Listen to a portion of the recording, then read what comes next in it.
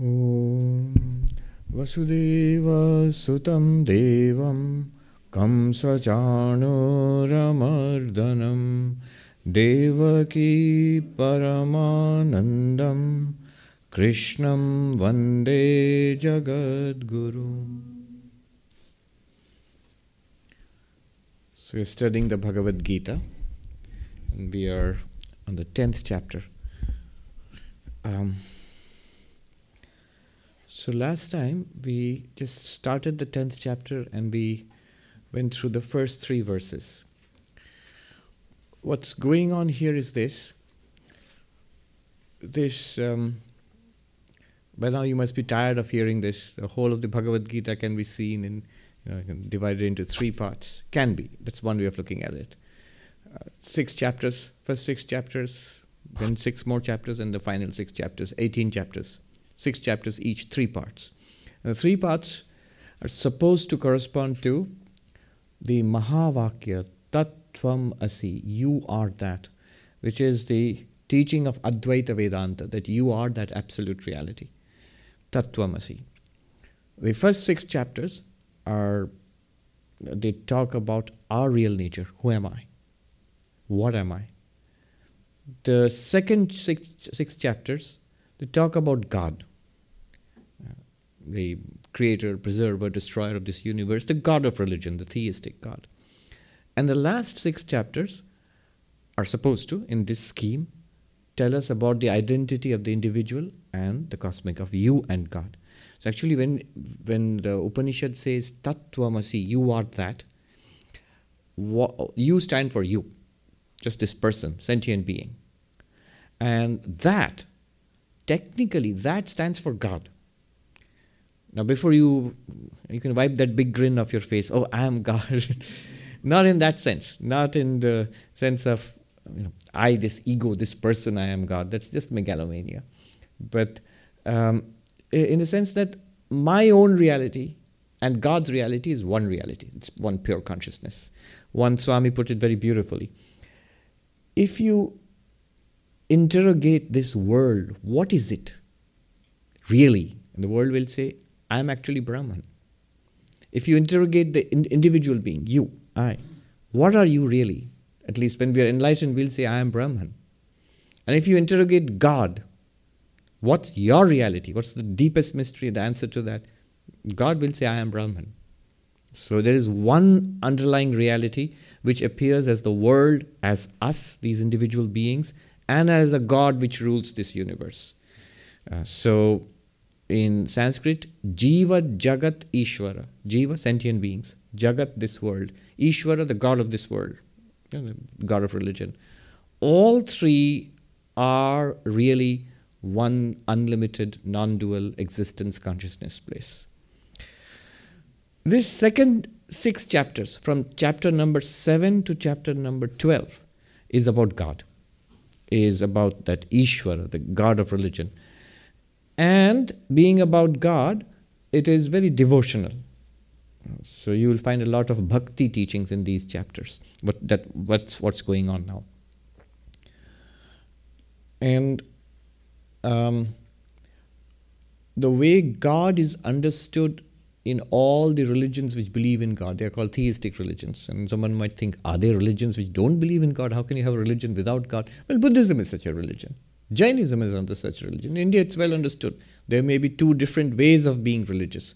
One is the God, the well known God way of being religion. The other one is self enquiry based, the inward looking way. Um, the Sankhyas, most ancient in Hindu philosophers, they were not theistic. Buddhists were not theistic. Jainas are not theistic. Um, even the yoga, Patanjali yoga, I'm saying this just I mean, for people who don't know better, it's all the same. Oh, so he Swami said the the Patanjali yogi is not theistic. But those who have studied Indian philosophy will say, mm, you're making a mistake there. God is mentioned in Patanjali yoga, but that is not the God of uh, you know, the creator God. Now, one way God is understood in all the theistic religions is that God is the creator of this universe. To be God, to be really God, you must be the power behind this universe that which has created the universe, that which is omnipotent, omniscient, omnipresent, that, that power. That's how God is understood in all theistic religions, with variations in theology. Now, how does this God create this universe? There are these three levels of understanding. It's all relevant. I'm not going off on a wild goose chase. Um, one way is there is a God, a power which created this universe. Separate power, separate universe. In that case, you need to say something about that separate power. Where is that separate power? Then you have to imagine a separate realm called heaven, some kind of heaven, the Christian heaven or the um, various kinds of Hindu heavens, Vaikuntha, Kailasha, Devi, Loka, whatever. And um, some material out of which this universe might have been created. So, for example, the ancient Nyaya philosophers and the Vaisheshika philosophers, they believed in God, but they believed God is this omnipotent, omniscient uh, power but space is eternal, space coexists with God. And there are eternal free floating atoms in space. And what God does is, how does He create this universe? God creates this universe out of those free floating atoms. By the will of God, these atoms coalesce into stars and planets, and the different worlds are formed. If you think about it from a modern cosmological perspective, they're pretty intuitive. Thousands of years ago, not too bad, really. Didn't do too badly. However, notice in that conception, God and the material out of which this universe is created are separate. It's like a you know the model the model probably they had in mind was a, um, a potter making pottery out of clay. So there is some clay and there is he makes pottery, but the potter potter is what is called the intelligent cause, the intelligence behind this creation. So God is the intelligence, the power but creation is made out of some other stuff which is not God stuff. A deeper understanding came, this is stage one, a separate God. A deeper understanding came that if God is truly God, all that there is, then the universe cannot be literally separate from God. You can't really say God created the universe and then, then say that there were atoms before creation, there was space before creation, there was time. When you're saying before, already time. So that means God didn't create time, God didn't create space, God didn't create the, the atoms or the particles. A more comprehensive God would be that God existed and that was there's only God and nothing else before creation. In that case, whatever we call creation, this universe, must have come out of God, out of God stuff. So the deeper understanding of, of God um, and creation, in Sanskrit this is called Parinamavada, transformation theory. So God projects this universe or creates it out of his, her, its own being. So what is this universe made of? It's literally made of God. So that is the second or deeper understanding. Uh, it is God transforms in some theories part of its being, some theories, um, its power. So there are multiple theories. There are all various uh, forms of what is called parinamavad, the theory, the causality which believes in transformation of cause into effect. What's the cause? God. What's the effect? Universe. You can see how this is different from the first theory, where God and the material are different. And then there can be a deeper understanding, which is the Advaita, which we claim to be deeper, is that does is it possible for an absolute reality, for pure being or pure consciousness, to transform itself, limit itself? You know, can the infinite become the finite? Can the changeless actually change? Or is God, and not, not only that, if God has changed in some way into this universe, God is changeful then. If you might say, what's what's the harm? Many problems. A changeful God is subject to change and decay and eventual death. Why not? If change, if you're admitting change, why not the ultimate change of death and destruction? So God would die, and um, God changes. If God is perfect, look at I'm giving you some problems which which come if you say God really changes. If God changes, God is our idea of God in every religion is God is perfect, and whatever your idea of perfection, but God has to be per- perfect the most perfect being. if the most perfect being changes in any way, the changed state will be less than perfect.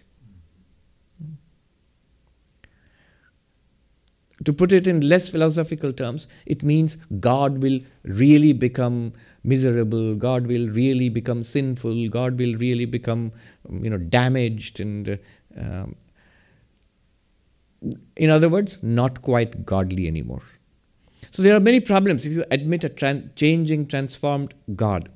And if you just say God has been transformed into this universe, then it's not God anymore, it's just the universe.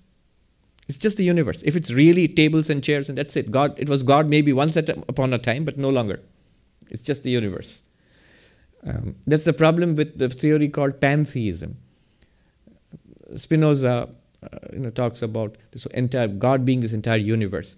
But critics will say that if you literally say this is God, then you're just using a new term for the universe. Why not just call it the universe? Why not just call a table a table? Why, why are you saying that it's God who became a table or God somehow is a table? If it's really a table, then that's all it is. Call it a table.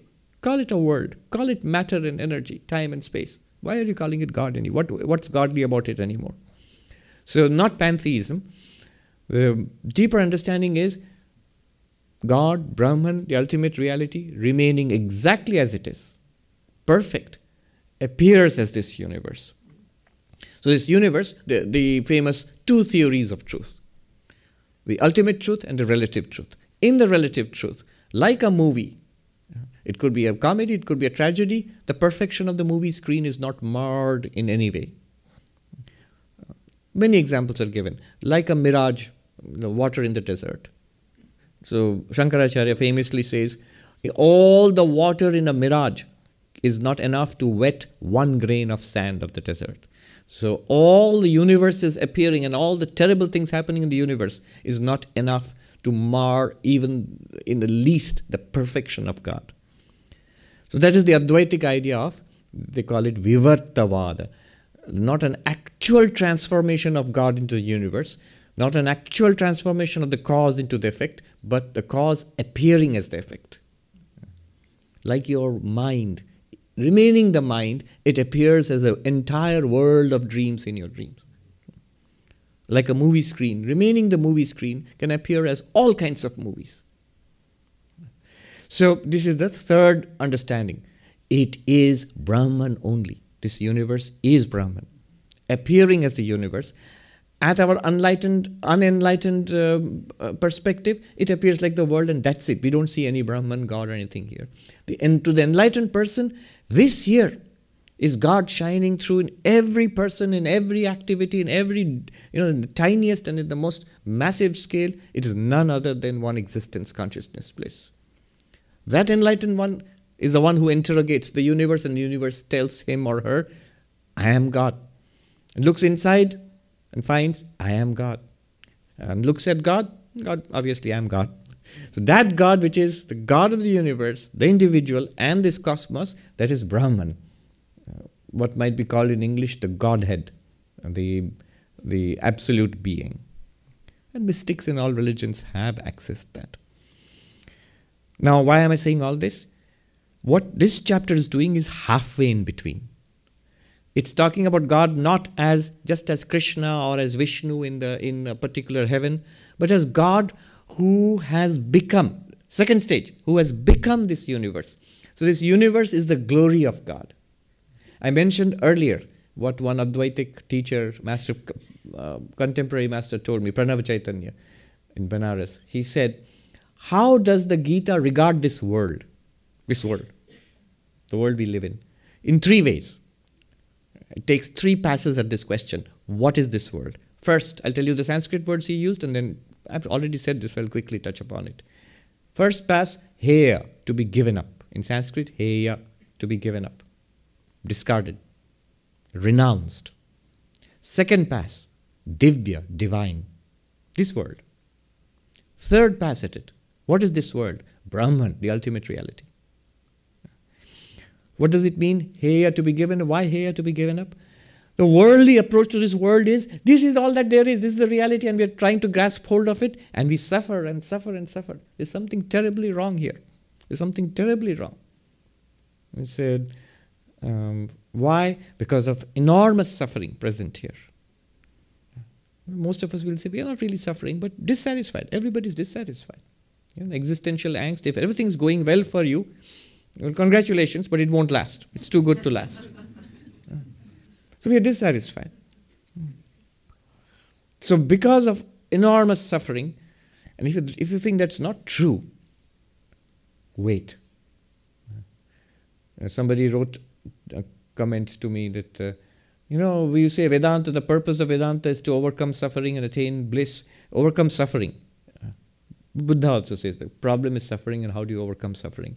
But my 13 year old daughter told me, we accept happiness happily.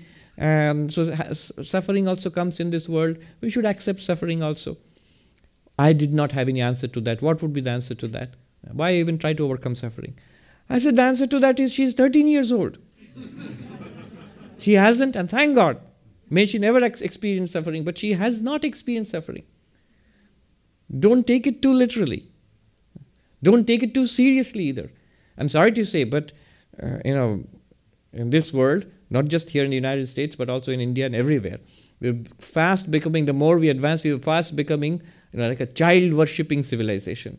Whatever children say is, is the words of wisdom. I know moms and dads love children. That's great. Yeah. But don't be immature. Yeah. Children might once upon a, uh, you know, once in a while say something that's pretty wise. That doesn't mean they are wise. No. You give them a halo of wisdom because you love your kids.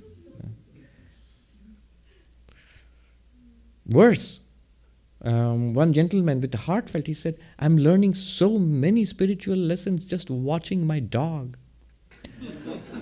I was, I didn't say anything. I rolled my eyes a little bit.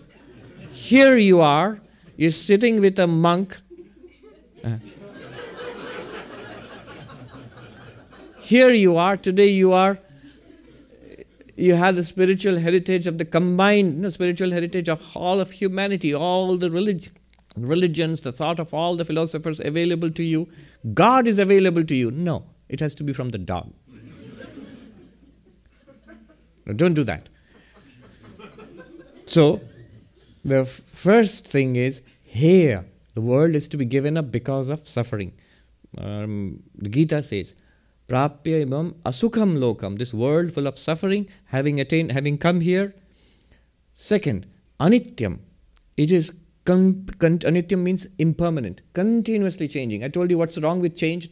When say change is not bad. Yes, but change is the problem with change is we want to have fulfillment, happiness, and that depends upon so many factors. And if you ever are lucky enough to get all the factors at their optimum level, you know, wealth and health and Facebook likes and the proper parking and all of that goes very well for you because it's a changing set, all the time changing. Next moment, it will change and it, the level will be suboptimal. So we are programmed for suffering. Unfortunately, that was the Buddha's great discovery. Yeah. Fun guy, 2,500 years ago. but no, uh, he's a fun guy because not, he tells us the truth about the way the world is, but he also tells us a way out. Uh, you know, how to attain, how to go beyond suffering, he says. So it is dukkha, suffering. It is anitya, temporary whatever any gains you make here prosperity family wealth and uh, you know learning civilizational advance all of it is temporary there's an ancient saying uh, you know in india a thousand years a city a thousand years of forest we go to the hayden planetarium here we saw this show what was here of millions of years ago. Right here, right here where we are sitting. It was underwater, and there were these huge extinct uh, di- uh, under you know sea dinosaurs which were swimming around here. That's what it was right here. A thousand years a city, a thousand years a forest, and then a thousand years a city again. So temporary, and then the Gita goes further. Maya. It's not just temporary; it's an appearance. It's not even real in itself. It's not that it doesn't exist, but it's not the way we think it is. It's an appearance. Something deeper is there. We are just seeing the surface of it. Maya. Where does the Gita say it's Maya? Um, second chapter, 16th verse. Na sato vidyate bhava. I will not explain that, but it's a big thing. So that's the first thing about to know about this world. It's not a good place. The world which we inhabit, the world which the way we look at it. The second thing which we know about this world, which this is this chapter deals with, this tenth chapter famously will deal with it it's a wonderful place. Seems to be just the opposite of what we said. You give up the world as the world, and then you see the divinity in this world. It becomes a wonderful place. The word used was divya, divine. Literally, the Sanskrit div comes to, from to shine. Devata, the gods, the shine. Divya means divine. This world is the glory of, of God if you see it as that. Not as things to be grabbed and things to be avoided, but it's glory of God. And that's what the 10th chapter is about. So it's sort of intermediate, but it goes further, which has not been mentioned in this chapter. It will come later in the, from the 13th chapter onwards. It's not only the glory of God, it's the ultimate reality itself. When I say the be careful, Advaita Vedanta, this is like anathema to say that the world is the ultimate reality itself. Not in that sense is the ultimate reality itself, it's not the world. That's the meaning of Brahma Satyam Jagat Mithya Jiva Brahmaiva Napara. Brahman alone is real, the world is an appearance, and you are none other than Brahman. That's a relief. You're thinking, what am I? Am I real or false? An appearance or. Don't worry, you are the reality. And this world, which includes body, mind, individuality, they are appearances. So, the 10th chapter will introduce us to that in between stage where God says, I have created this universe out of what? Out of myself. So all this universe must be in some sense God. And then Krishna will introduce you to how do you see God in everything in this universe. He will point out some places where God is most manifest, easier to see. Most manifest means more easier to see. And um, as a part of our spiritual practice. So we'll when we interact with the world, it will no longer be this is worldly and that's spiritual. In the church and the temple and the Vedanta society, oh, that's spiritual. In Wall Street or in Broadway, oh, that's secular. No, everywhere the same God shines through. That's what the theme of this chapter is. Now, in the um, fourth and fifth verses, which we'll see together, Krishna is saying, our internal universe, thoughts, feelings, emotions, ideas, intelligence, all of that, that's also God. It's like we identify those as my thoughts and feelings, and I'm looking out. All right, this world is, you're saying this is not a world, this is God, but I am experiencing that as a world or as God. But no, that which you think you're experiencing, your own thoughts, your emotions, your aspirations, your intelligence and knowledge, your joys and sorrows, all of that is also none other than that one divinity. So that's what's said in the fourth and fifth universe. Our internal universe is also God. Let's do fourth and fifth together. Buddhir jnanam asam moha. Buddhir jnanam asam moha. Kshama satyam dama shama. Kshama satyam dama shama. Sukham dukham bhavo bhavo. सुखं दुखम भवो भावो, भयं चाभयमेव च। चाभयमेव च। अहिंसा समता तुष्टि, अहिंसा समता तुष्टि तपोदानं यशो यश तपोदानं यशो यशः। भवन्ति भावा भूतानां भवन्ति भावा भूतानां मत्त एव पृथग्विधाः मत्त एव पृथग्विधाः discrimination, knowledge, non delusion, forgiveness, truthfulness, self control, tranquility, happiness, misery, existence, non existence, fear, and also fearlessness, non injury, equanimity, contentment, austerity, charity, fame, ill fame, these different dispositions of beings are indeed born of me. we'll just run through the list. But it just means whatever we feel inside, whatever we think inside, whatever we experience within ourselves, first person experience, all of them come from God. The beauty of it is when we begin to see that, we get what is called an even sightedness, an even mindedness. That this is great and the rest of it is awful. That kind of reaction becomes less and less. We begin to see this is not particularly great, and that's not so bad either. we begin to see all of them are coming from the Lord, and all of them I accept with respect and with equanimity. All of them remind me of the Lord. That, that's a wonderful thing. Whatever happens in my mind. See, we are most impacted by not so much by the world, not so much by other people. We're impacted by our reactions to the world and other people. All those reactions are also divine, not in the sense that they're great. They're divine because they're coming from the divine. And if you take the transformation theory, the second theory we talked about, then it is the divine. If it's a transform, if it's clay, then the clay pot, the pot must be clay. If it is a golden ornament, then a necklace and the bracelet and the, you know, whatever it is, a tiara, it must be gold. Okay.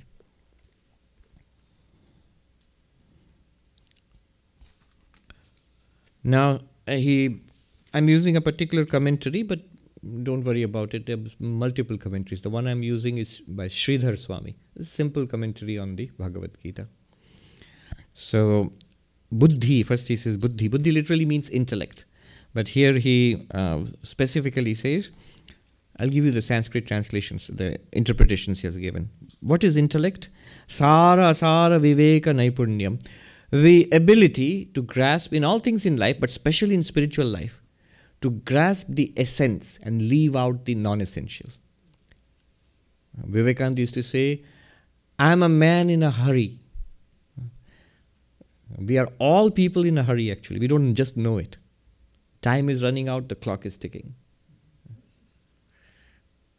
Good deal of our life is already gone in being just being young, being 13.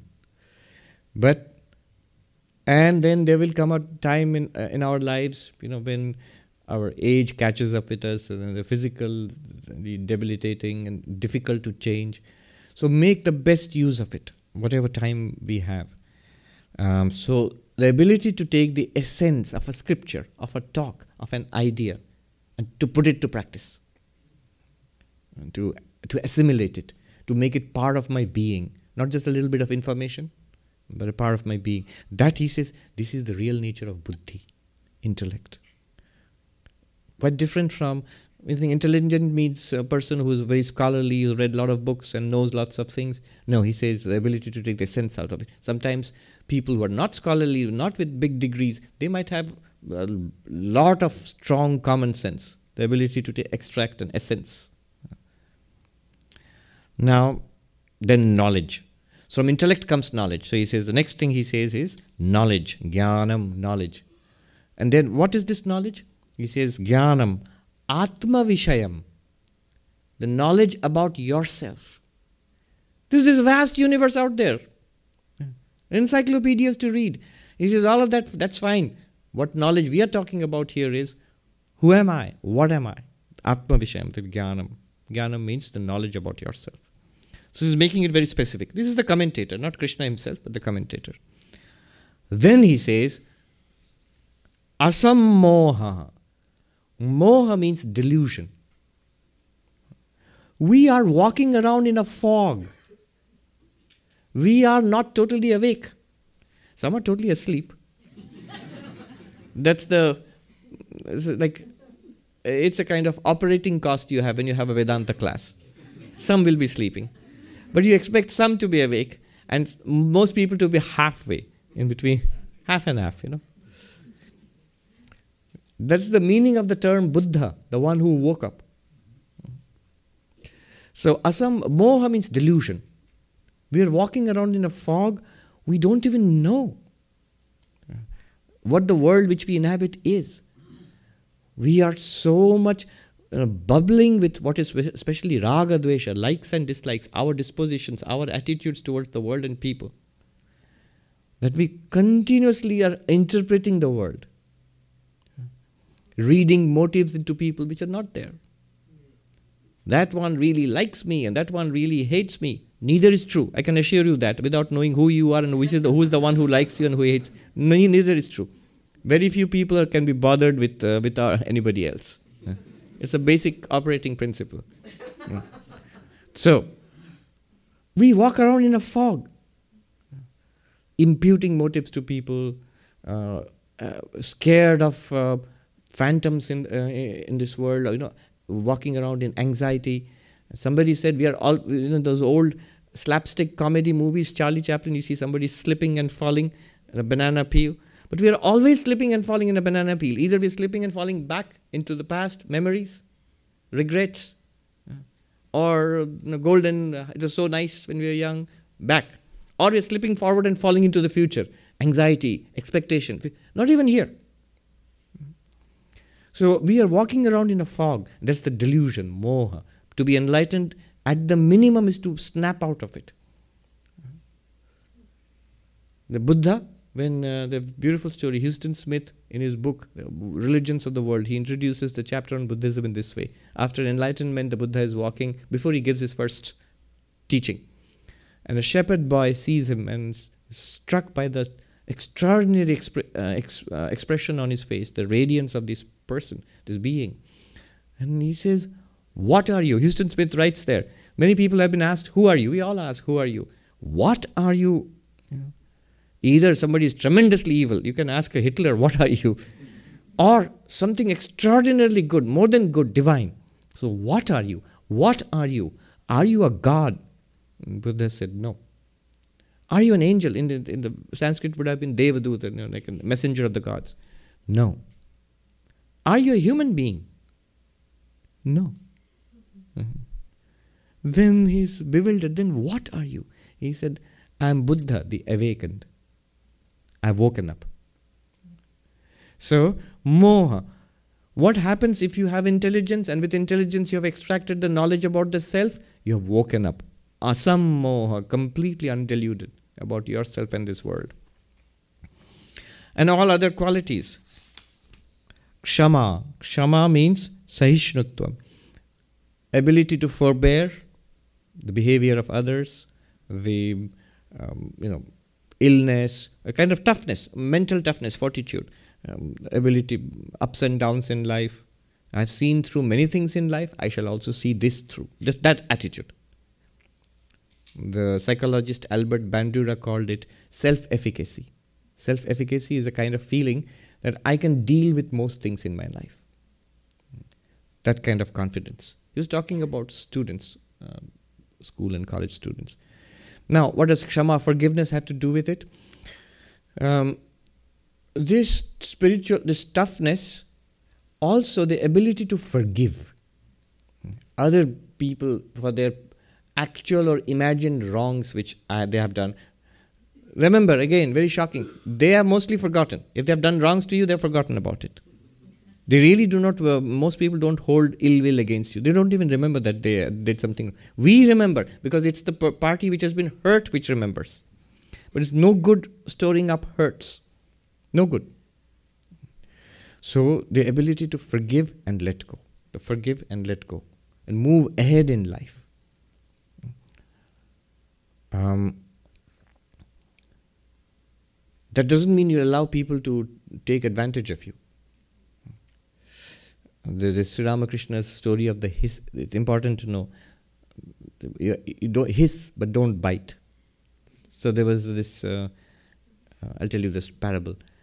A brahmachari, a, a, you know, a, a celibate monk who was going from village to village and he comes to the particular village and he's going on a particular path. The villagers say, Don't go that way, there's a venomous snake, a big cobra which stays there, it'll bite you. And um, Brahmachari, the, the wandering monk, he said, No, I know the mantras, you know, they can't do anything to me. And then the snake comes out charging at him, and the brahmachari quietens it down with his mantra. And then he says, Why are you so violent? Why are you hurting people? Um, so the snake says, What should I do?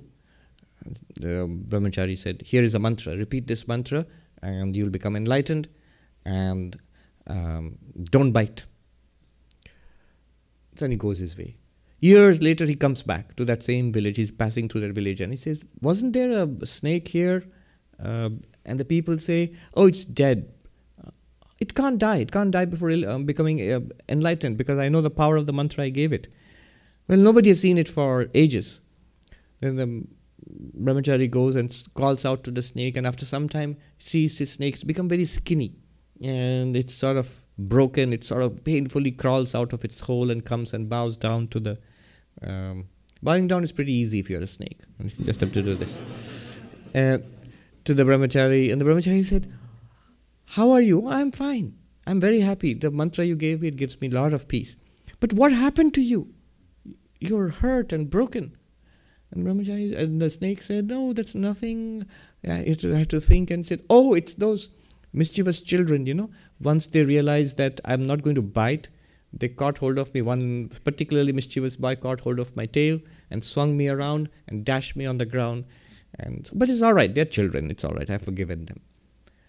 Um, then the brahmachari said, "I told you not to bite. I didn't tell you not to hiss." So to hiss means make sure people don't take advantage of you until you are enlightened, until you have achieved the goal of your life. It's no good, I'm forgiving everybody, I'm practicing non-violence, and you're most disturbed and uh, unhappy because people keep troubling you. With the disturbed and unhappy and, and troubled mind, you can't do spiritual practice, you can't meditate, you can't study, you can't pray. So you have to protect yourself. Whether you have a worldly goal, you're raising a family, building a business, to protect yourself. If you're going to be spiritual, you have to protect yourself. Common sense always. So Kshama here um, one interesting insight I found, Eknath Easwaran, if you, I don't know if you have, some of you may have read his beautiful writings. He has three volumes on the Gita also. Uh, so one insight he gives is, look at the continuity. Buddhi is intellect. Um, and then through that intellect you know you get knowledge knowledge about the self and through that knowledge about the self your uh, delusion goes away you wake up one good way of driving away this fog is forgiveness, he says, kshama. Uh, this non forgiveness generates a big fog, thick fog in our lives. Letting go, forgiving, uh, that internally. Out, outwardly, if it's a nasty person, you may continue to hiss, but internally, it's okay.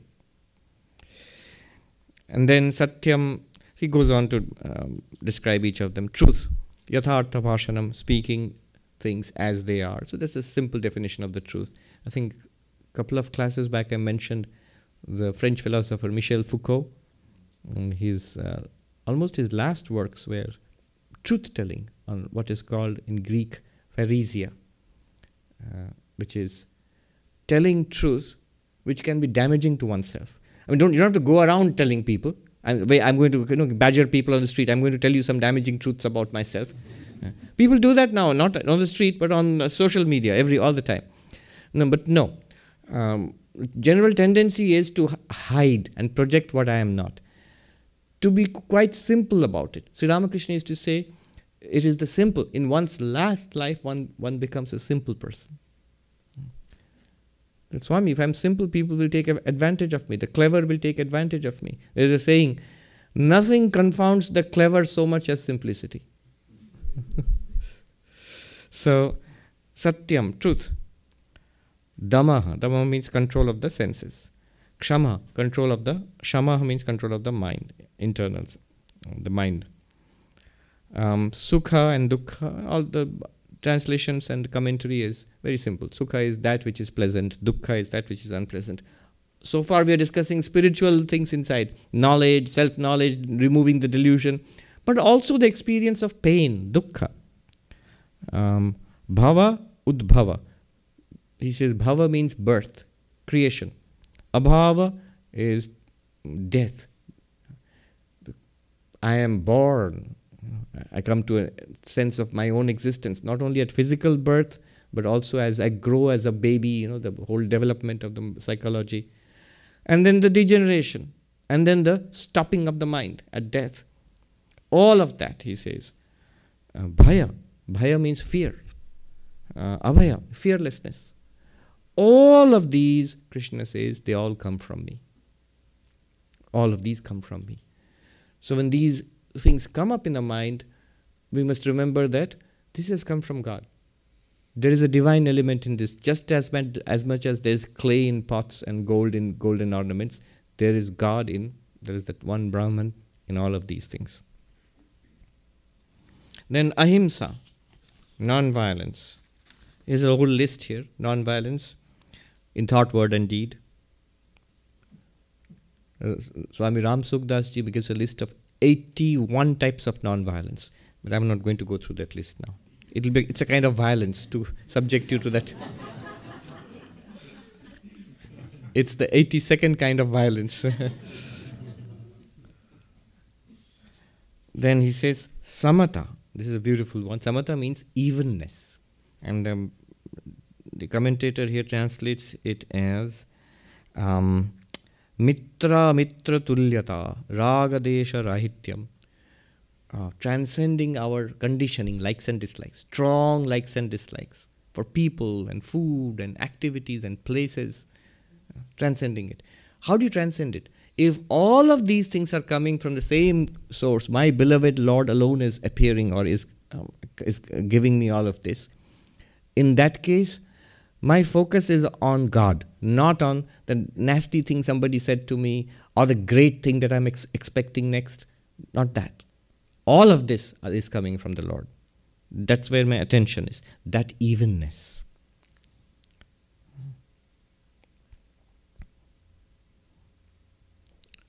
Tushti. Daiva labdhena santosha. Another word is used is tushti. Tushti means um, contentment. So you put forth your best in the world. At the end of the day, go not harassed and harried to bed, not like a hunted hare, you know, with the, the hunting dogs are after you. No, go to bed with contentment because I have put in what I, I could do and I give the whole thing, my efforts and whatever I, have got, mentally I offer it at the feet of the Lord and sleep happily. Tushti, fulfillment, contentment, as far as the world, material things are concerned. We are usually very contented about God and discontented about the world. Tushti means to be contented about the world and discontented. Why do I not have focus on God? Why, why do I not, why do I keep forgetting God? Why is it so difficult for me to, you know, be even-minded about the world? Sri Ramakrishna was most discontented about God. He wept and wept and wept for what? For, for him, God was the divine Mother Kali. Why have I not been able to see you? One more day has passed. The sun is setting on the bank of the Ganges, on the Ganga. He would rub his face on the um, shore of the river till his face bled. And he would cry for the mother. And the people around him, they thought this is a young priest, he has come from a village. He's probably, he misses his mother. But he's, so he's, this is a divine discontent. And Sri Ramakrishna said, people cry, you know, they shed pots of tears for their, you know, wives, husbands, for their children, for money. Nobody cries for God. I choose to be mad about God. I, I cry about God. So santosha means contentment about the world. Tapaha, austerities, danam. So they're very nice uh, translations here, but I'll move ahead.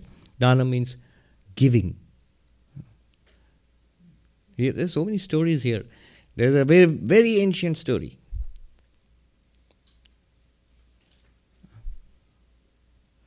The gods, devatas, human beings, and the demons they all went to the to brahma their their grandsire the creator of this universe. Not god, not brahman the ultimate reality just brahma the god who is sort of, sort of like a subcontractor. You yeah. you give him the job of making the universe. God gives him the job of making the universe. Anyway so they all the people after the universe had been created they all went to him for advice. Um, tell us what's what spiritual advice do you have for us? And see, there clearly Brahma gives different advice to the gods, different advice to human beings, different advice to the demons. What will make them progress? So, all he said, you know, they prayed to Brahma. It's very dramatic. And Brahma replied in the voice of thunder. What did the thunder say? Da, da, da. Eliot, he used this. You know, what did the thunder say? In the po- poem itself, he's written the, the, the. But what does it mean? Three times the. Uh, first is for the gods, it is damyatam, control yourself.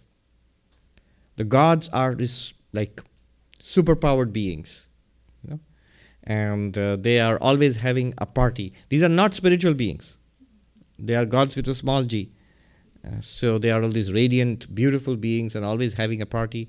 Um, control yourself. For you, spiritual uh, progress is possible when you control yourself. Da- damyatam, control. Stop for human beings, datta, give, because human beings are petty, small, and close fisted. It is godly to give. It is great to give. Don't be small. Sri Ramakrishna advised the mother when he was dying of throat cancer.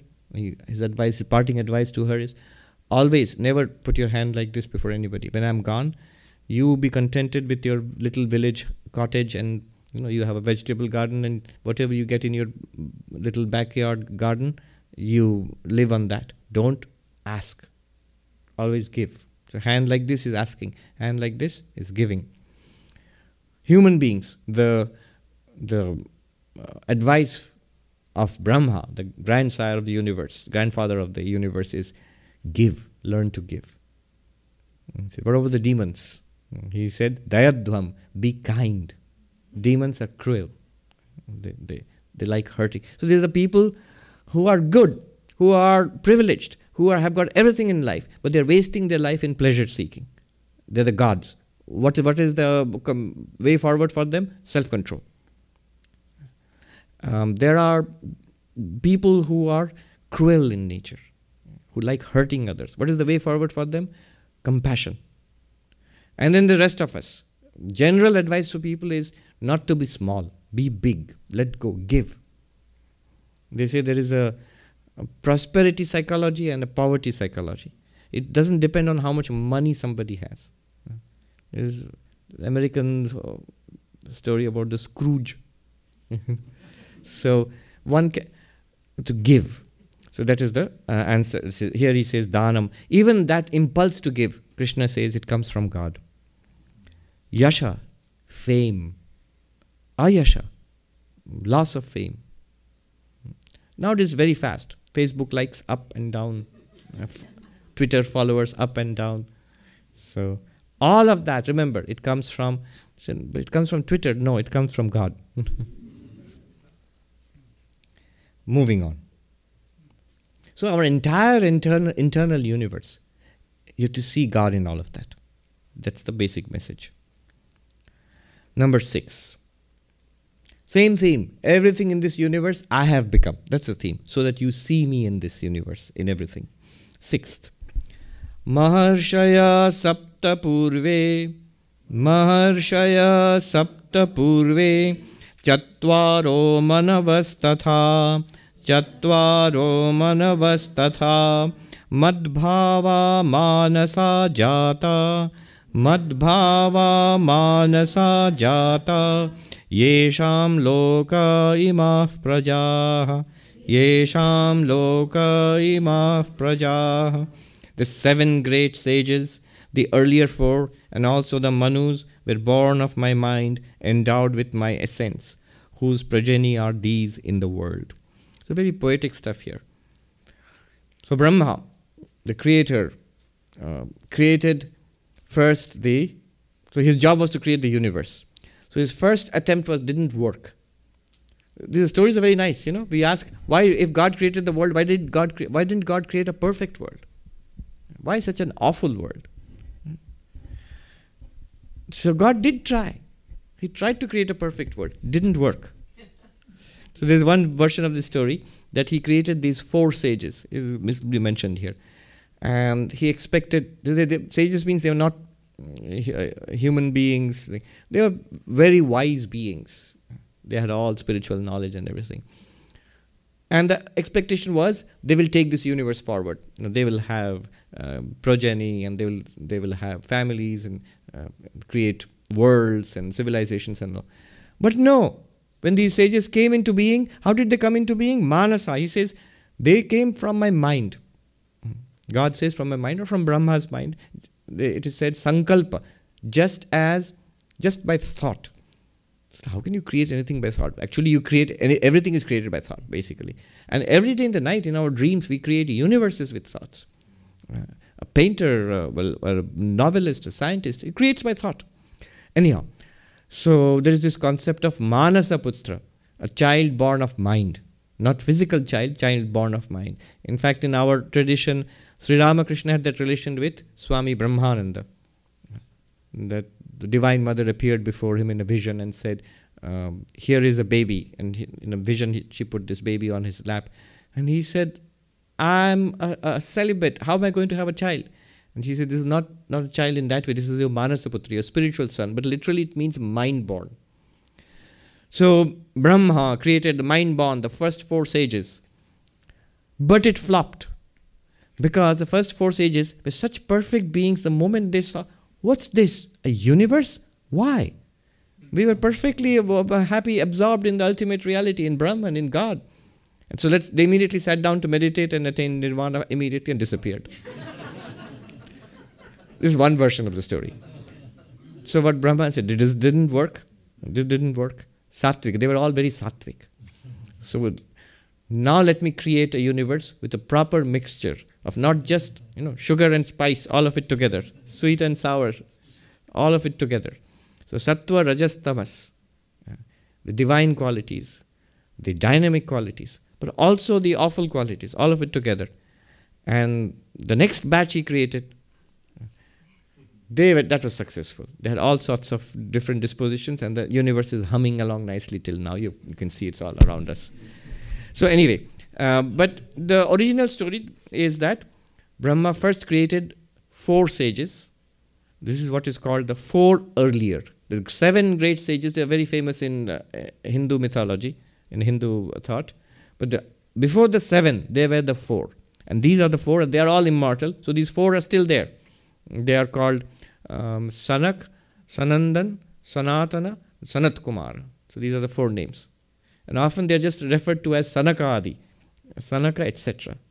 So in many hymns, many songs, uh, they are referred to as the great sages. So they are supposed to be still there, and they are all uh, teaching uh, humanity they're giving spiritual knowledge to humanity. In fact, if you have heard of theosophy, so theosophy was based on um, Oriental wisdom, uh, Indian wisdom, basically Hindu, Buddhist, and Jain thought. In theosophy, they have a system of what they call Mahatmas. So these invisible spiritual beings which give knowledge to you, and also all sorts of theories there. But the point I want to make here is the greatest of these Mahatmas in, the, in Theosophy thought, Theosophy is still big in America, it's still there, there are um, uh, centers. So, the greatest of these spiritual beings who give um, spiritual knowledge to humanity from age to age, this immortal spiritual being, his name is, wait for it, Sanat Kumara, the fourth of these four great sages. If you look up Theosophy, their theories and all. So there's a mystical city which is in the sky somewhere over Mongolia in the Gobi Desert. It's called Shambhala, which is the again taken from Buddhist thought, the Buddhist uh, spiritual city. And there dwell all spiritual beings, and at the head of them is one this immortal, luminous being, who happens to be called this Sanat Kumar, the ancient, uh, the fourth of the four ancient sages. But they didn't do much for creating a world. So Brahma tried again. Then he created the seven great sages who are known as the Saptarshi. And um, after that, he created what is called the Manus. So Manus are the, um, the let us say, the creators of civilization. So they are supposed to be 14 Manus, and each Manu has a period of civilization running for hundreds of thousands of years. So this is a whole calculation. Um, right now, we are in the age of the seventh Manu. The first Manu was supposed to be Swayambhuva. And the seventh Manu, that's the one who is behind our present civilization for as long as we can look back, you know, from pre civilization uh, era till now. The seventh Manu's name is Vaivaswata Manu. So, this is all in Indian cosmology. There are seven more Manus to come after this, till the, the end of this universe. Anyway, not our point here. Madbhava manasa jata, they are born of my mind. Yesham loka imah praja, imah prajaha. And this world that you see around, they're all descended from these Manus. And um, that's where the name um, Manusha in, in Sanskrit means human being. It's come from Manu. Even the word, English word man, I don't know if you look at the root, I don't know where it has come from. It might be connected to the Sanskrit Manu. Man, Manu also is related to the Sanskrit word for mind, a thinking being. Anyhow, all that is not the point. All of this, which is this vast and most ancient cosmology, Krishna says, from God, all of these things have come. That's the point.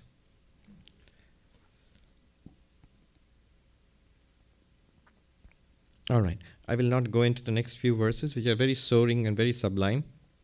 He says, Those who know this, they will realize the truth about what I am, what this universe is, and they'll become enlightened. He's going to say that. And how do you practice this? All of this will come next. I'll just let it be. Uh, we can take up questions, observations, comments. If you raise your hand, yes. Tell us your name and ask the question.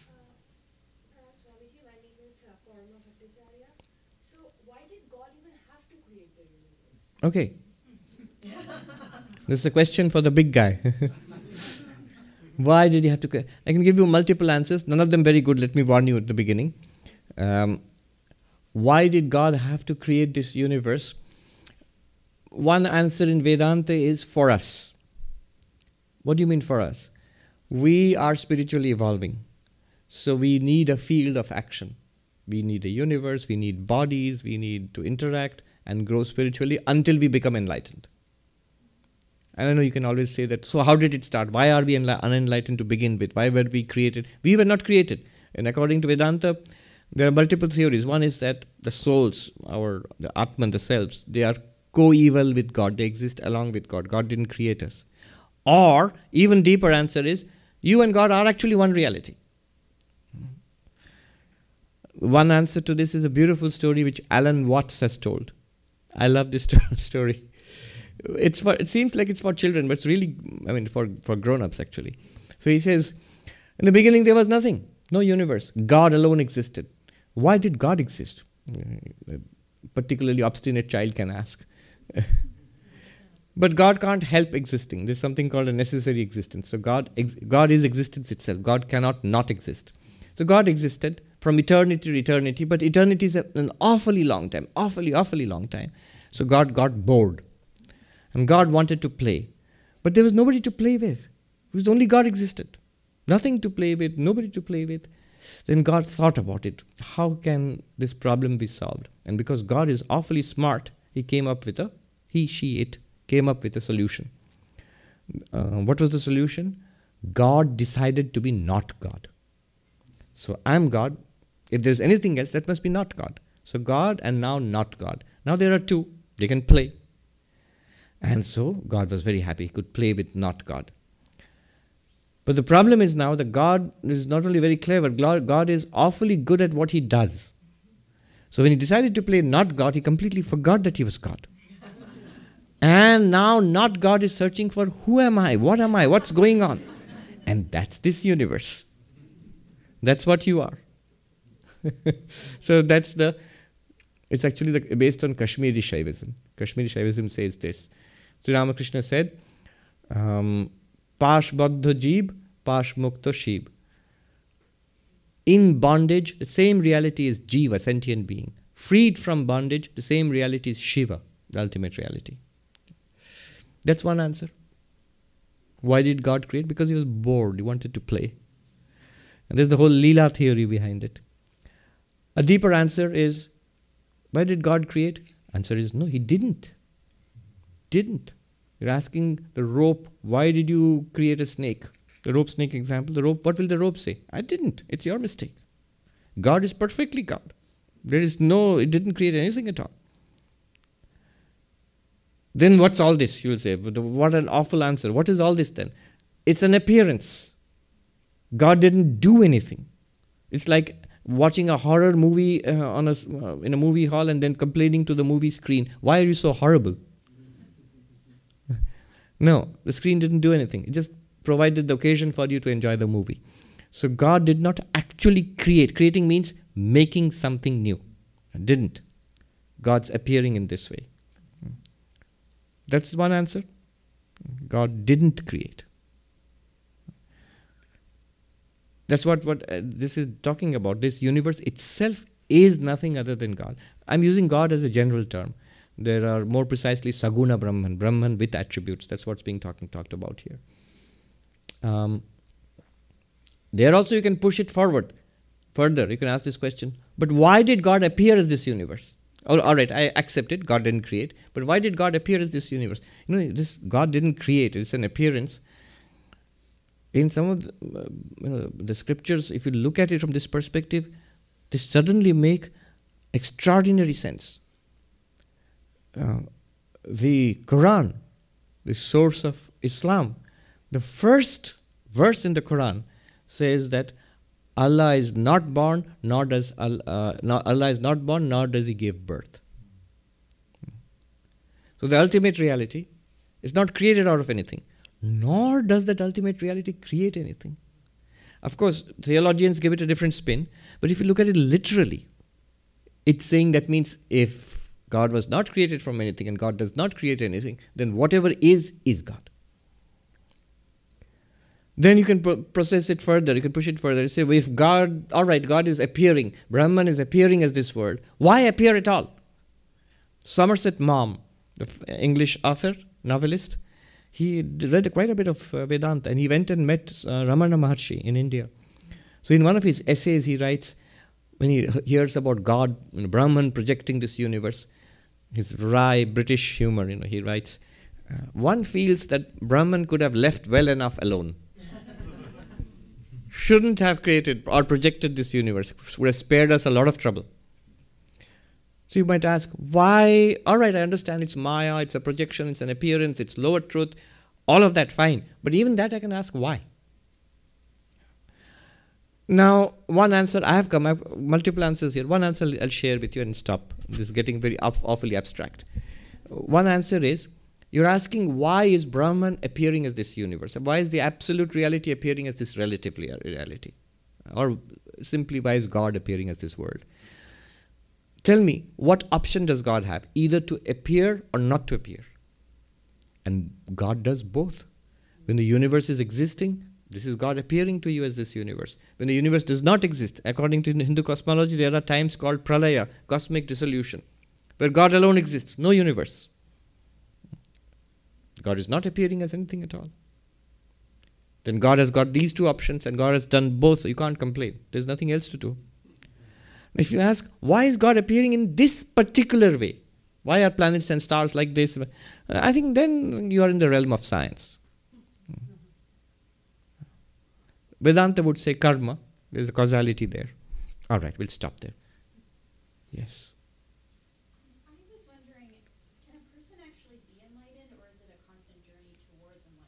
Oh, one can be enlightened. Yes, there were people who are enlightened. However, you're not entirely wrong. God is not, ultimate reality is not exhausted by one flash of enlightenment. So, once you discover that, Sri Ramakrishna, somebody in, in the um, you know in front of Sri Ramakrishna said this. It's an endless journey, you know. Was, and uh, one goes on and on. Sri Ramakrishna said no. Where one finds peace, ultimately. That's the end of the journey. But for you, when you're enlightened, when you make a breakthrough, you touch God, see God, or Brahman, you realize that you are Brahman, that breakthrough is one and final. However, that does not mean that's the end of spiritual experience. Then you taste that divinity which you have discovered in a thousand different ways every day of your life for the rest of, of this particular existence. So the enlightened one can have various kinds of mystic experiences. For that enlightened one, every experience is a God experience. Kena Upanishad says, Pratibodha viditam matam amritatvam hi vindate. In every experience, when you see that you see the same Brahman, then you attain to immortality. So, in one sense, enlightenment is the end. You find peace. You know, that's it. The game of life is over, the riddle has been solved, the I have attained. And you realize at that time it was always there. somehow I didn't I never saw it. It's an open secret. However, that's not the end of uh, it's not oh it's too bad boring now I I wish I hadn't finished so early. no. Uh, so game of life is over doesn't mean that it's it's in one sense it's begun swami brahmananda says spiritual life starts after nirvikalpa samadhi Now, this is an extraordinary statement we somehow the way it has been put in yogic path in the yogic path nirvikalpa samadhi is said to be the final samadhi the final meditative absorption Swami Brahmananda says the spiritual life starts after that. What does that mean? It means after that it's real. It's no longer you're a seeker, you're found.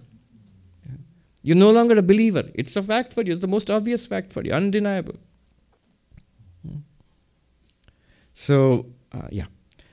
Another little story let me share with you there, here. There was um, one Swami um, from whom I learned Vedanta. His uh, name was Medha Chaitanya, then later on Damodar Ashram. He was one of the greatest Vedanta scholars of uh, in, in Bengal at that time. When I started learning from him, he was already in his 90s. And he, imagine, a 100 year old teacher. he went on teaching up to almost the very end. He lived for 105. So he told me of a story I asked him about his teachers, and he studied under many great teachers, including some of the greatest scholars in Sanskrit college in, in Calcutta at that time. Um, Jogendranath Tarka Vedanta Tirtha, profound scholar, encyclopedic scholar. So this monk, he told me that this is this happened a long time ago, 60, 70 years ago. He said, I was going daily from the monastery. I would go daily to attend classes under this great Pandit in Calcutta, then come cross the river with a boat, the Ganga, come to the monastery in the evening. There was Gyan Maharaj. Gyan Maharaj was a disciple of Vivekananda. And Gyan Maharaj was blind. Um, but he saw more than other people. So he would sit and wait for me. This monk told me. So when, uh, don't get confused among all these characters. When I would go for classes with the great Pandit, come back, and every day I had to repeat to him. He would sit there and say, "Who is it?" I'd say, "I've come. I've come back." What did the Pandit say? And I to, have to give him a summary of what I learned that day. One day, I went to my master, that Pandit, in Calcutta to attend classes, and I saw the Pandit. He was he was also very old. Lying down reading a book. And I sort of asked him, this monk told me, you are a walking encyclopedia of anything to do with you know, religion and philosophy. You're still studying new things. And the Pandit said, If I don't learn something new every day, I don't want to live. I must learn something new every day. So that inspired me a lot, this monk told me. That day, when I crossed the river and came back in the evening to the monastery, Gyan Maharaj was sitting there. He said, Who is it? I am this and this so and so. I've come back from my classes. What did the Pandit say? Oh, the Pandit said, If I don't learn something new every day, then I don't want to live. And Gyan Maharaj said, That's good, that's the scholar's ideal. But remember, enlightenment is not new every day. It happens once and it's forever. So, that knowledge, the knowledge of the self, what, what I am, uh, there is no second edition, third edition, updated. But that doesn't mean it becomes stale. It's not something like, oh, I got enlightenment in 1965 and I have barely I sort of remember it. It was a great thing. It's not a memory. You to yourself are not a memory. You are living ever fresh to yourself. What you are becomes clear to you. That's always living and fresh. That's in fact that's the only thing that's living and fresh. Yeah. So answer yes, there is an end, enlightenment. You attain unbroken, limitless peace. And and no, there is no end to this infinite divine reality which you keep on experiencing. That's fine. Yeah.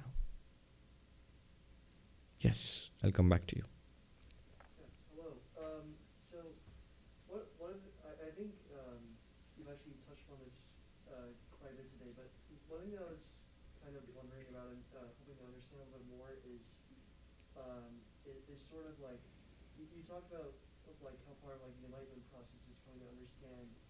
things about um, absolute reality and things that exist within absolute reality that are not that are unchanging, uh, such as, for example, like um, uh, things like morality or uh, or you know the absolute reality, uh, and um, I, wa- I was I was wondering like how, how might we describe in a little bit more detail like the like the metaphysical like system of reasoning that helps us uh, that, that guides us toward understanding these. All right.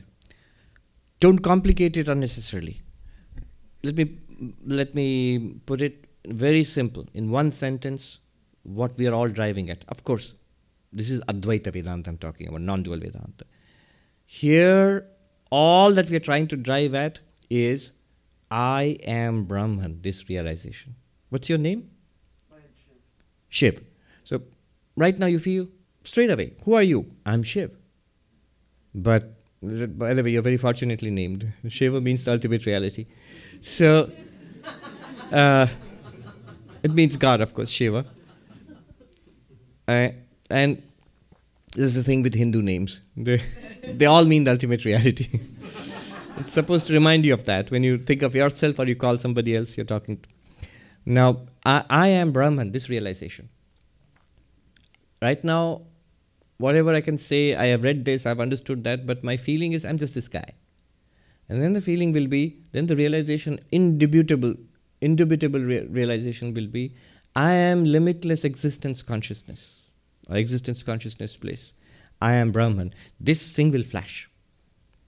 This is what we are all driving towards. And all this reading, understanding this and that, the metaphysics of it, the, the, the uh, ethics of it, the meditative practices, the devotional practices, God appearing as many things in the universe, these are all helpful. That's all.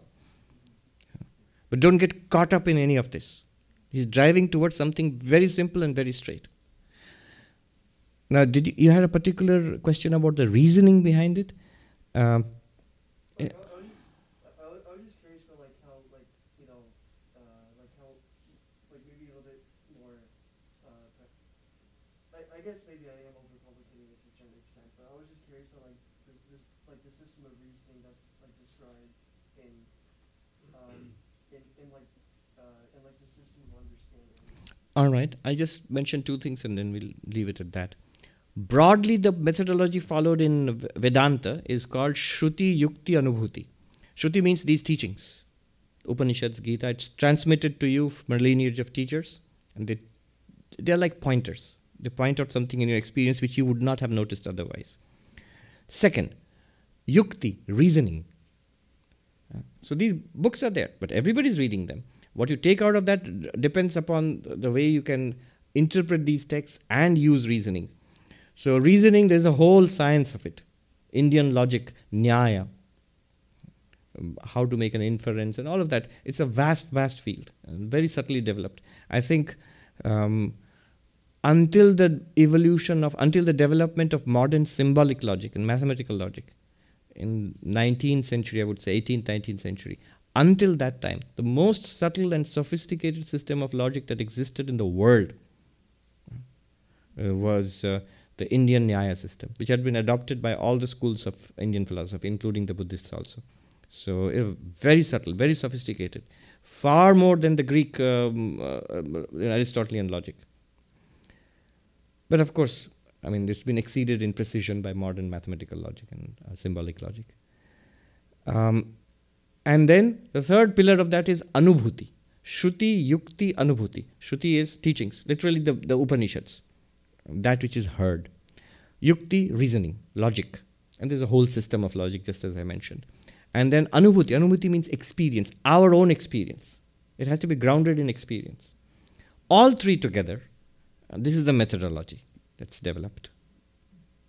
Okay, lady here, and then you there. My question is about depression and spiritual practice, especially with regard to meditation. Hmm. So generally, meditation, you know, calms the mind, gives you a sense of peace and detachment. But there's also a phenomena where it kind of leads to a loss of meaning or a depression, or uh, maybe call it like a dark night of the soul. Hmm. In such cases, do you just push through, or do you back off? And then uh, the second part of that question is there are people who are who tend towards depression, whether because of genetics or trauma or circumstance.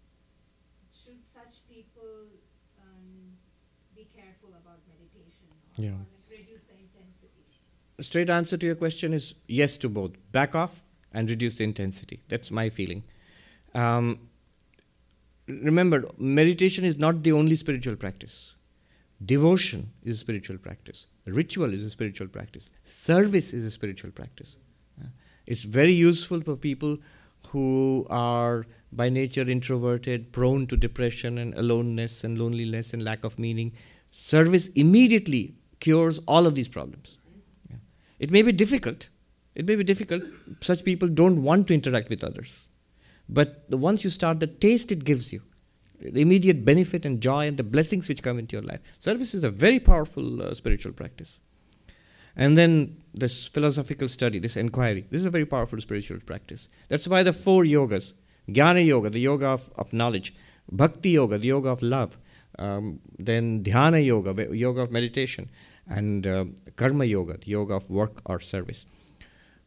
What is the role of psychiatry in all of this? Now, there are two schools of thought in our order, in our tradition at least. There were some monks who said, no, you take all your problems to God. Don't depend upon um, psychiatry, don't take drugs, don't. The other school of thought, which I subscribe to, uh, there, there are also many great enlightened people, good monks in this order, uh, in that school of thought, is that you take the help of um, psychiatry, you take the, taking the help of uh, physical medicine anyway. You're going to a doctor if you have got a tummy ache. Why, why won't you go to a, a psychiatrist if somebody's got depression or unhappiness or um, you know schizophrenia or what? It's a, an illness. It's now it can be shown. It's also grounded in genetics. It's grounded in in the brain, uh, nervous system. So if you're taking medicine to help you to digest or for your uh, you know diabetes or for your heart you can take medicine for the brain. There is you know earlier there was a lot of um, uh, what would you call it a, a kind of disrepute a kind of uh, shame taboo associated with mental illness. No it is mostly gone now. I attended a conference american psychiatric association apa they called a conference with faith leaders few months ago in Washington, D.C., at their headquarters. And uh, they were the people who were strongly against any kind of religion or spirituality. They, to the extent of, for many, many decades, to the extent of saying that it's pathology. It's, you, if you're religious, you are a nutcase. Now they're completely reversed. In the meeting itself, they were the leading members of the American, the most powerful body of psychiatrists, of the um, most, you know, largest number of psychiatrists in the world uh, here in the United States, and they said we have a shortfall of thirty thousand because they said we are now facing a mental health crisis in the country, exacerbated by a lack of mental health professionals and COVID. And that's true in other countries also. I know it's true in India also. And we need all the help we can get. And we notice whenever people have problems mentally, they don't turn to a psychiatrist. They turn to the local pastor, to the local church leader. So their idea was two ways: what can we learn from you, and what, and we can give you some kind of basic training. How do you recognize and deal with mental illness and help people when they come to you? Because they are saying that we have to be honest. We can we are seeing that people are coming to you, to the church leaders, to the priests and pastors, not to us at first. Um, so yes, so that's the second school of thought. Um, uh, take at least counseling. Counseling is very useful, and it, it's a whole spectrum. From, uh, I mean, I can even tell you. Um, I will not tell the name. He was a past. He was the president of the American Psychiatric Association, and um, over lunch he took me aside because I was a monk. He took me aside and said, "Look, in my youth, I went to Japan. I was a Buddhist monk for three years, and till today." Who's saying this? The president of the American Psychiatric Association. He said, "Till today, every day I meditate." So, yes, take help. Meditation can, in some cases, um, aggravate symptoms of depression, unhappiness, um, psychosis. People are hallucinating. It's not a good idea to sit down and meditate at that time. You'll think, all right, I'm seeing God all the time. no, don't do that. Yeah. There are other avenues of spiritual practice also. This is a big issue, but um, take help. I would say to everybody, a spiritual seeker, you're taking help help from uh, medicine, from a doctor. If needed be need be, take help from a psychiatrist. There's no shame in it at all. Good question. Last question, yes.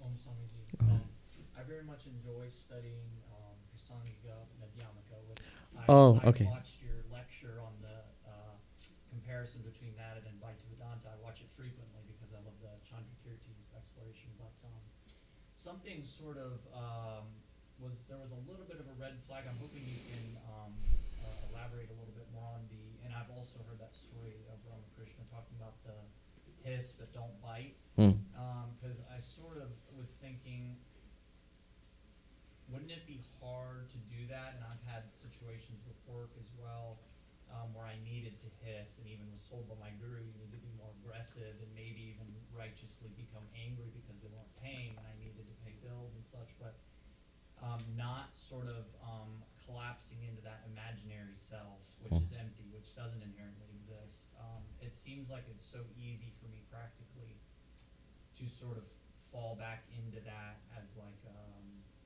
a fallback state. It's it's it's easy to go back into the imaginary self, whereas um, it seems like that would be a hard thing to do. Can, can you say like how? I'm going to set aside Advaita, I'm going to set, set aside Madhyamaka Buddhism. I'm going to go back many, many years ago to a college professor um, who was teaching a course called Assertiveness Training.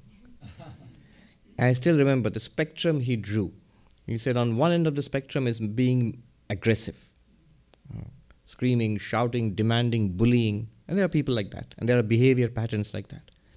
On the other end of the spectrum is being manipulative, playing politics, talking, and being bird, you know, talking dirty about somebody behind their backs, um, duplicity. That's the other end of the spectrum.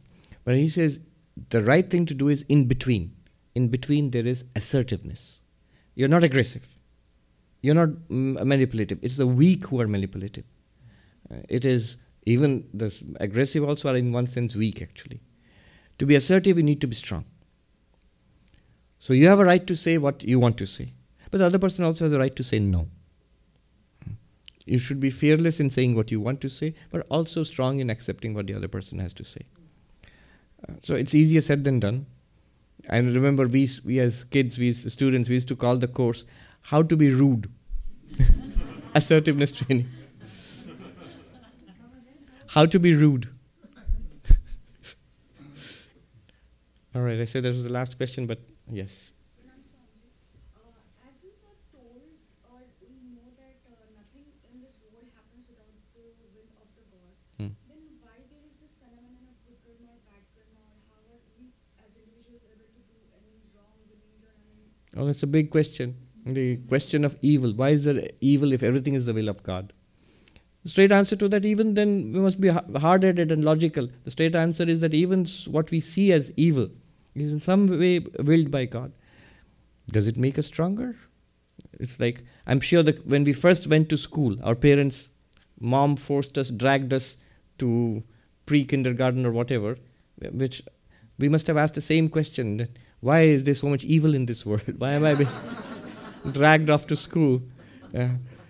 But ultimately, we see it was for our, really for our own good. So there are many answers. I can give you 24 actually, 24 answers. If you look at, uh, there's a book, there's a book, uh, Arthur Herman, The Problem of Evil in Indian Thought. What are the answers you get in Hinduism, Buddhism? But he collects answers from all religions of the world and different philosophers of the world, and he has a list of 24. so, yes, so the multiple answers are possible. One answer I just gave you that maybe it's not evil, maybe both what we see, good and evil, are pushing us along in spiritual life. If things were perfectly fine here, then we wouldn't want anything else. We would want to stay here, be worldly. Often, people make spiritual progress in suffering rather than in pleasure and in a fine life. They don't grow. Have you noticed? It's a well known phenomenon across the world. Children of rich parents, they don't do too well. Why? They should do well. They've got all privilege, they've got all opportunities, that's what the parents ensure that our kids will ha- have a better life than we had. But then it doesn't work out that way. Why? Uh, so maybe some amount of challenge, toughness, is uh, shock is necessary. That's not a complete answer. The places there there's such terrible suffering that it's not leading to anybody's growth. It's just just suffering and ends in death maybe. So how do you explain that? So there are many theories. This is one theory I gave you. Then there is the karma theory. Then there is the, how would the karma theory work? One thing the karma theory does to answer your question is karma theory takes the blame away from God. Hmm. If God's will is good, God's will is good. But God has also given us freedom.